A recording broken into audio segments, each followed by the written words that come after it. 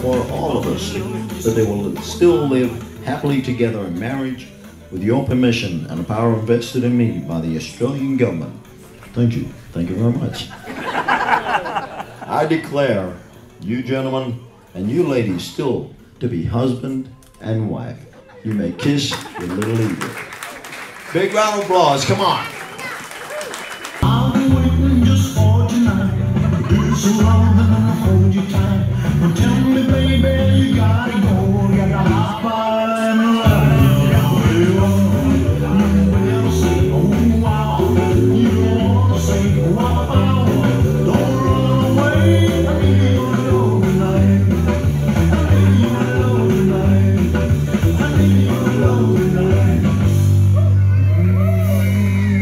Give them all a big round of applause. Come on.